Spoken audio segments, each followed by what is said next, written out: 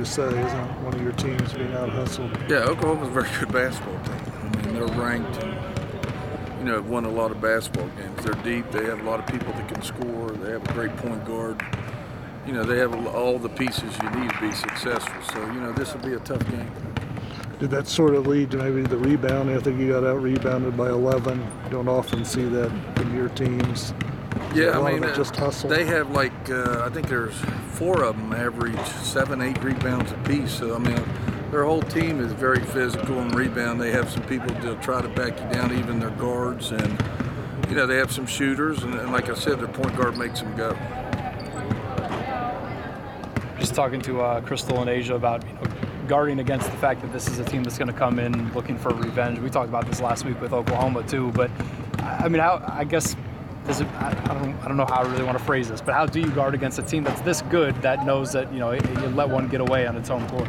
Well, I told the girls yesterday, this is a big game. This is a big game for seeding uh, for both teams. So they're going to come in here and play extremely hard.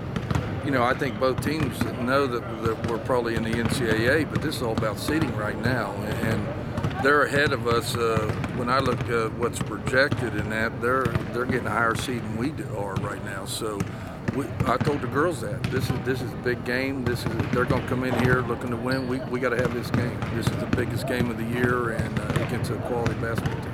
I think a word I heard thrown out there from Christal was respect. Do you, do you use that a little bit with them for motivation? Yeah, absolutely. Uh, you know, I've used that. I use that all the time. Uh, you know, uh, look uh, for the fact we weren't ranked for a long time. Uh, that they're even saying, even though we beat them one time and have less losses, they're still seating them ahead of us. So you know that there's a lot of respect factor there, and uh, you know these girls, we need to come in here with a, a chip on our shoulder tomorrow night, and, and, and you know we have a, something to prove. In general scheme of things, you still have a chance to win the, the league championship regular season. Where does that fit in, into your thinking? I mean, you know, it's not the ultimate goal Yeah. yet, yet it's something that you haven't done. Yeah, I mean that's great. Well, I'm like you. I really haven't thought about that much. Uh, to me, it's always been you know making the NCAA, trying to get a high seed and have an opportunity to advance in the NCAA tournament. Now, along that way, if you have an opportunity to win the, your conference, that's great. And uh, you know we're in a good position right now. Uh, so you know we'll see what happens. You've always been in Connecticut Valley. Where, I mean, really going the season, there's no reason Yeah. to really think about that. Right. Uh, does that you in any way? Uh, Not, not being able to set that somewhere in the future as a goal?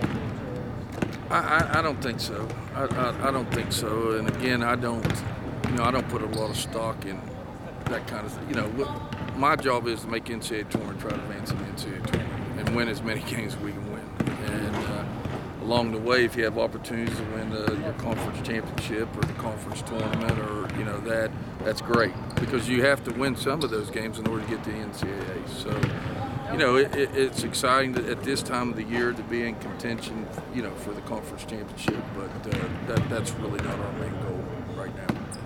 Do you hear anything more from the medical?